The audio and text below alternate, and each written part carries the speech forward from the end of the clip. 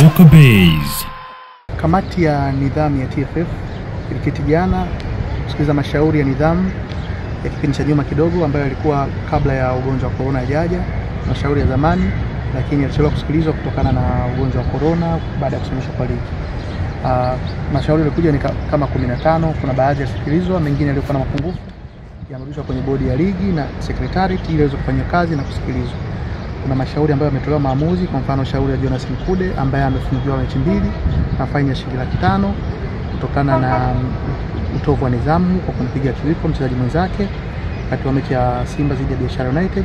Vile vile kwa Bernard Morrison ambaye pia alimshambulia mchezaji wa Prison, naye pia amefungiwa mechi mbili na faini ya shilingi laki tano. Ah, ah, adhabu hizi zinaanza kuanzia jana ambapo kamati iliketi na zitakuwa sambamba, adhabu pamoja na fine shalipwa, ndio watakuweza kuwa huru kuendelea na mchezo. Pia kuna mashauri ambayo yakuweza kusikilizwa kama shauri la Haji Manara ambalo bodi ya ligi na secretariat waliyaomba kuyatoa kutokana na mapungufu yaliyokuwa nayo, asingeweza kuendelea kusikilizwa sababu ya mapungufu, na Antonio Nugas ambaye nadhani jina lake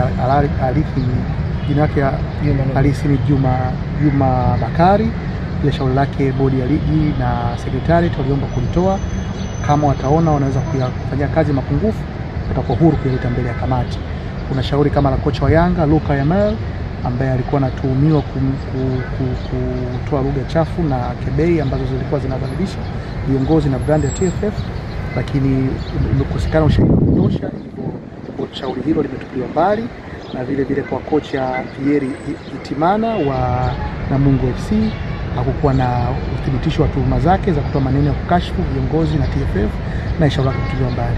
Kwa hiyo kwa ujumla mashauri yaliweza kusikilizwa ni kama kumi na mbili na wengine waliweza kuzuia mbele ya kamati, wengine wakuhudhuria, lakini wale, wote watapata watapata mrejesho na, adhabu zao.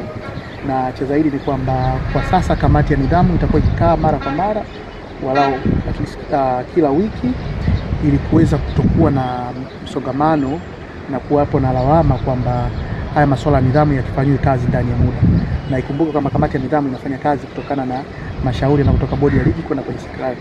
Kamati ya nidhamu ni kamati huru, lakini uketi baada ya kuitwa na sekretarieti. Kwa hiyo tumeshakuwa na maelewano vizuri na katibu.